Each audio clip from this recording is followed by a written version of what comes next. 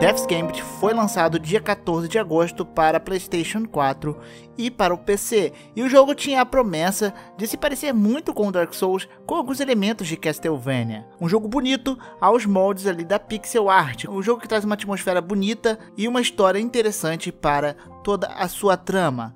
Eu sou Hades e hoje nós iremos falar do Death's Gambit, um jogo que eu achei particularmente divertido, porém a sensação de estar jogando um jogo incompleto é constante. Hoje nós iremos falar dos três pontos positivos do game e três pontos negativos pelos quais eu não gostei. Inicialmente, o Death's Gambit é um jogo estilo Souls-like com elementos de Castlevania.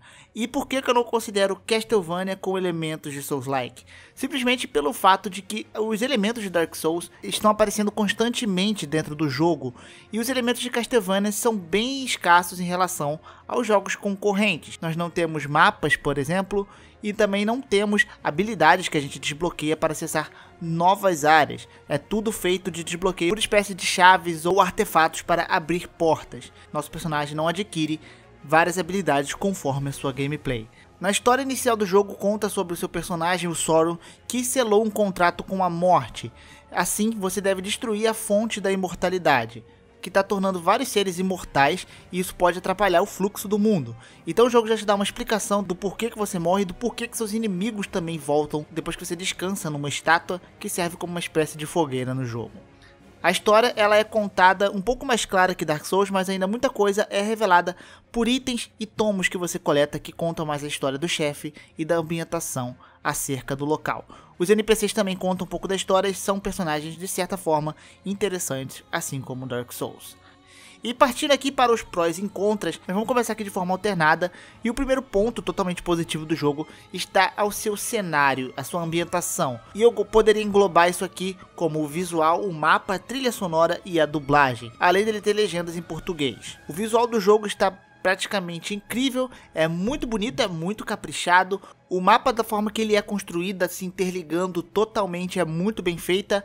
E ele tem um sistema interessante que serve como uma espécie de fast travel, que você viaja usando seu cavalo por um túnel subterrâneo. E esse túnel se interliga em vários locais dos mapas e você vai abrindo ali atalhos e você consegue navegar tudo pelo túnel de uma forma muito mais rápida. A trilha sonora é um dos pontos mais positivos do jogo, linda e muito bem feita, muito bem encaixada.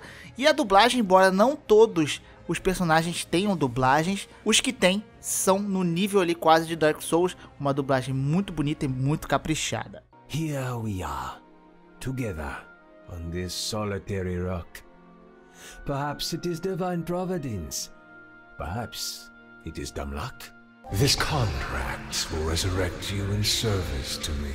Rest assured, your mind and actions will be your own. Temos um santuário no mapa, igual Firelink Shrine, onde reúne todos os NPCs e uma loja, e NPCs que são interessantes.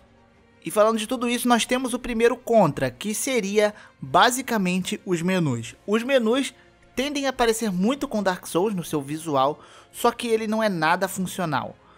É uma das piores coisas na minha opinião. Não dá para usar item direto do inventário, ou seja, se você quiser utilizar um item que tire veneno, você tem que equipar o item nos atalhos rápidos, sair do menu e apertar o botão de atalho rápido para poder usar o item. Coisas que são muito fáceis de ser implementadas. Tem bugs ali nas habilidades. Eu desbloqueei uma habilidade que tem na árvore de habilidades, eu vou falar um pouco dela mais pra frente. E essa habilidade, ela se multiplicou, ocupando todos os espaços das habilidades, eu não podendo comprar mais nenhuma. O remapeamento de teclas é um desastre. Se você tirar e colocar o controle, as teclas voltam para o padrão. E eu, particularmente, eu gosto de remapear teclas, visto que o ataque do jogo é no X. Então, eu gostei de remapear para atacar no RB, igual eu ataco no Dark Souls, por exemplo. Só que toda hora, tiro e coloco o controle, as teclas resetavam. E fora que ele não muda na interface. Se, por exemplo, na interface aparece ali que embaixo é o Y para usar um item. Se você muda essa tecla, para B, por exemplo, o Y continua, mesmo você apertando B. Então, coisas fáceis ali na interface mesmo que eles podiam modificar conforme você mapear essas teclas. Então, para quem mapeia a tecla, vai passar um pouco de estresse.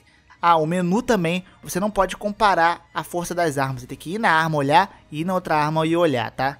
Um dos melhores pontos, com certeza, do jogo está em relação aos seus chefes. Os chefes são variados, são difíceis, têm um design muito legal e você pode fazer revanche contra eles.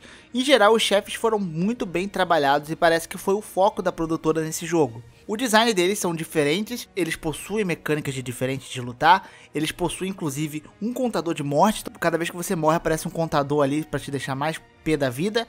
Eles são bem complicados, principalmente os chefes mais finais.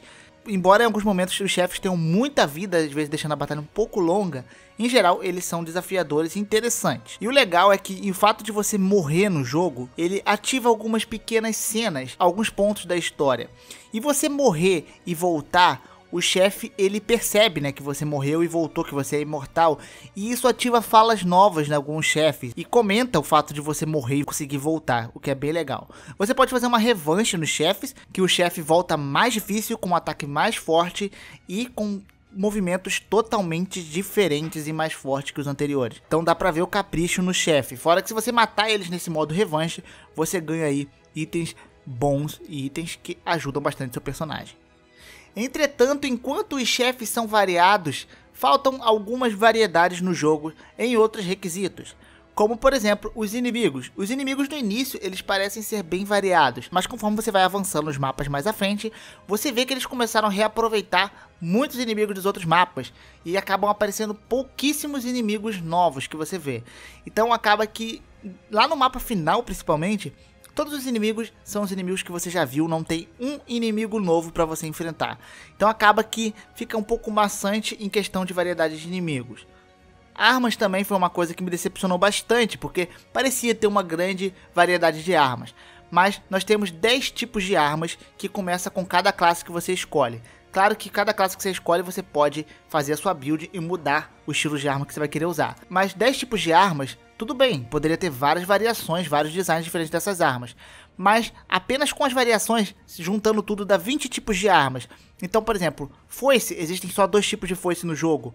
Espada grande, só tem uma espada grande no jogo, que é a espada que você começa, não tem outra. Então isso é muito triste, um jogo que tenta se inspirar em Dark Souls, simplesmente ter pouquíssima variedade de armas com movesets diferentes. A armadura também você encontra, são apenas capacete, bota e capa, e elas não mudam a aparência do seu personagem. Então, também é outra coisa que eu particularmente não gostei tanto, mas não chega a incomodar. O próximo ponto positivo aqui são as mecânicas que ele tem, que é um pouco diferente de Castlevania e Dark Souls. Ele não faz 100% Ctrl-C, Ctrl-V, embora a inspiração seja 100% clara a Dark Souls, a gente tem diversas referências a Dark Souls. A própria morte fala de você, brinca, né, de ter que tocar dois sinos para poder abrir a porta, coisa que acontece em Dark Souls. Tem uns bichinhos que lembram aqueles cristais de, aqueles lagartinhos de cristais de Dark Souls, que quando ele te vê, ele sai correndo, e se você matar esse bichinho pequenininho, ele dropa pedras de upgrade para você fazer upgrade nas armas, e tem diversas e outras, se você prestar atenção, referências a Dark Souls. Só que ele também sai dessa mecânica totalmente igual a Dark Souls,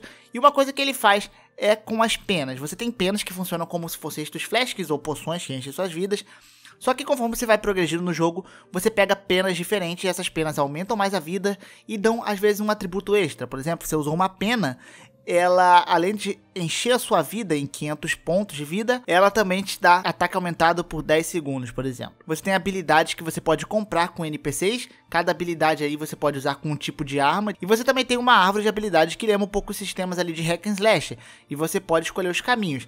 Você consegue upar as habilidades a cada chefe que você mata, você ganha um orb.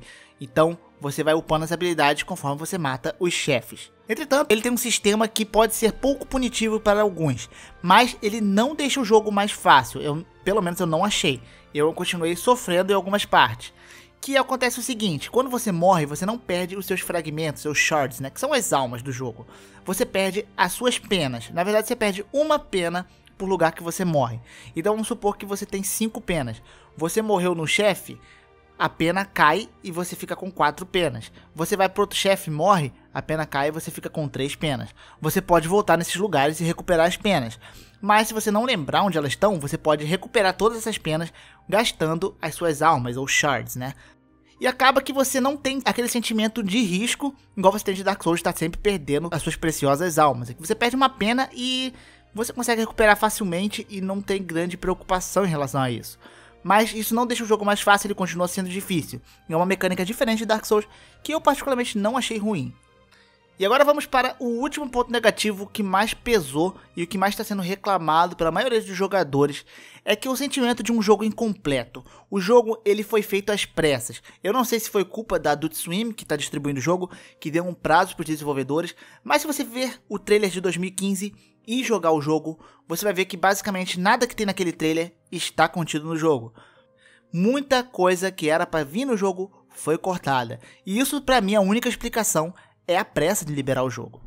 Você sente que o jogo é incompleto, você sente que falta mais áreas opcionais para você explorar, mais atalhos para você liberar. O menu que foi uma das coisas que eu critiquei, dá para ver que foi um menu que foi uma das últimas coisas feitas ali implementado totalmente com pressa. O mapa final, inclusive, tem uns inimigos que eles colocam e uns chefes que parece que foi feito apenas para encher linguiça, para poder você terminar um pouco mais lento. Então a sensação de mais volume dentro do jogo, de um sistema de upgrade melhor, um pouco mais complexo, uma árvore de habilidade um pouco mais planejada, você parece que está jogando o tempo todo um Early Access ou um Beta. É muito estranho. E temos vários outros problemas em relação a problemas de bugs que eu relatei do menu clonar as habilidades, por exemplo, problemas em telas com 120 Hz, por exemplo, dando problema. Você inicialmente você tem aquela imersão no jogo, mas depois você começa a sentir falta de algumas coisas. É muito estranha essa sensação que o jogo me deu. Embora seja um jogo extremamente divertido, como fãs de Dark Souls, provavelmente vocês vão curtir muito o jogo. As referências que eles tentam colocar em Dark Souls, a inspiração grande de Dark Souls vai atrair sim os fãs de Dark Souls. Mas essa sensação, infelizmente, esses bugs atrapalha um pouco o game e deixa ele muito menos grandioso do que ele poderia ser. Devil's Gambit é um jogo interessante, é um jogo bom. Você provavelmente vai curtir muito Devil's Gambit se você não se importar tanto e não ficar tão estressado com bugs, né? Tem até bugs de quedas de FPS que atrapalham alguns momentos. Mas são coisas que provavelmente eles lançaram na pressa e vão deixar para corrigir em patches futuros. Coisas que eu particularmente não aprovo muito. Mas ainda assim foi um jogo que me divertiu. Ele dura mais ou menos 10 horas de gameplay, 10, 11 horas de gameplay, depende aí das quantidades de morte que você sofrer. Ele tem uma história que eu particularmente achei boa. Ela foi um pouquinho previsível para mim, mas em geral o desfecho dela é bom, é interessante e eu gostei do tema que ele aborda a imortalidade e algumas falas de NPCs que falam sobre a imortalidade é muito legal de se ver, muito interessante e você fica um pouco preso à história. Mas em geral é isso. Essa daí é a minha opinião em relação a Death's Gambit. Eu quero saber a opinião de vocês, quem jogou aí, se sentiu o mesmo sentimento que eu, desses contras aí que eu apontei, que infelizmente pesa um pouquinho no jogo em relação ao fato dele ter sido apressado. Se dessem mais um ano, por exemplo, de desenvolvimento pro jogo, com certeza sairia uma coisa muito melhor. Mas vamos ver daqui pra frente se eles vão lançar DLCs, se eles vão lançar mais coisas conforme o jogo vá progredindo. E espero que, se os desenvolvedores forem lançar mais coisas pra frente, que lance gratuito, né? Porque é meio complicado a gente pagar por coisas extras que deviam estar incluídas no game principal. Mas só o tempo dirá isso aí. Então, esse daí é o vídeo, eu espero que vocês tenham gostado. Deixa o like aqui embaixo. E se não é inscrito, se inscreve aqui no canal para acompanhar meu conteúdo. Eu fico por aqui. Até o próximo vídeo e fui.